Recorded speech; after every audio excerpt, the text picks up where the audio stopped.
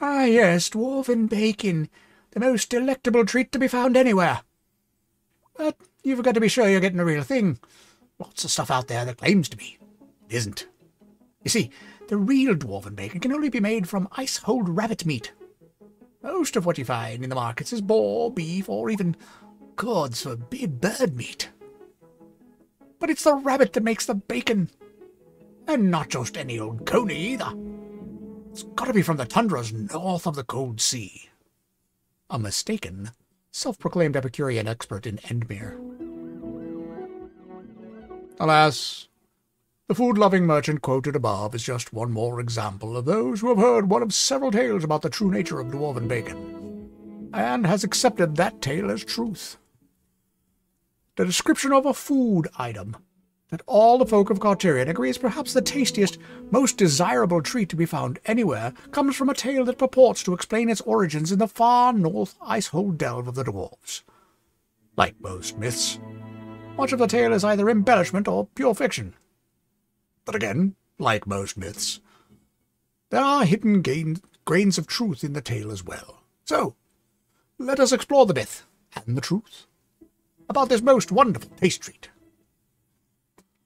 Most of the stories about the origin of dwarven bacon place its beginnings in the ice-hold delve, the dwarven citadel underneath the lone mountain in the frozen northern wastes north of the cold sea.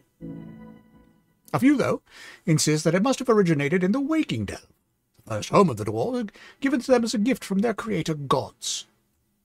Any dwarf know that knows their history will scoff at this, however. They will admit that Icehold Delve is indeed the true source. The most widely accepted tale, the one recounted in the quote above, claims that dwarven bacon was first produced out of necessity. The dwarves attempting to settle the far-off Icehold Delve did not anticipate the poor hunting in the icy wastelands. It was too cold to grow their giant mushroom crops beneath the frozen mountain, and the customary game hunted by dwarfs above the ground could not be found.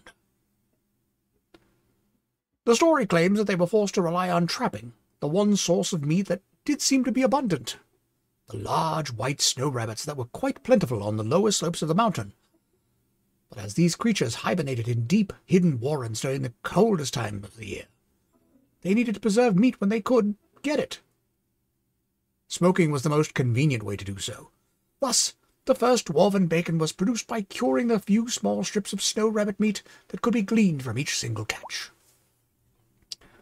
The tale has been retold so frequently that even many dwarves believe it.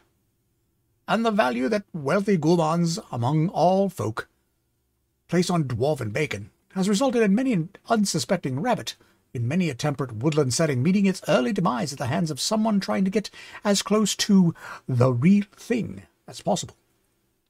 But these efforts fall far short. They are based on belief in the wrong parts of the myth. The truth Parts of the tale above are indeed true. Dwarven bacon did originate with the early settlers of the Icehold Delve. They did find the mushroom spores they brought with them. They did not fare well in the icy cold of their new chosen home, and the first bacon did come about as a result of trying to cure scarce meat to preserve it when hunting was exceptionally poor. But this is where the myth ends and the truth begins. The most important truth to be learned is that dwarven bacon is not about the choice of meat.